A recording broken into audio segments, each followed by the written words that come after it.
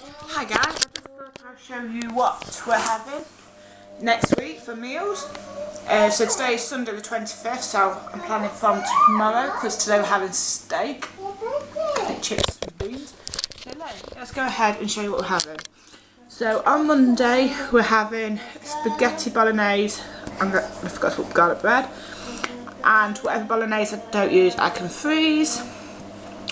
On Tuesday we're having tuna pasta bake. Wednesday we're going to have cheese and ham potato bake. Thursday we're just going to have bacon, egg and beans. Something simple because he's been at nursery. He would have had something to eat at nursery but I just thought I'd just give him some cows. Friday we're having fish fingers, chips and peas. Uh, Saturday we're going to have chicken korma and rice and naan bread or onion bhajia for Simon and on Sunday we're having a roast dinner. So that's what we're having for meal wise next week. I hope you like it.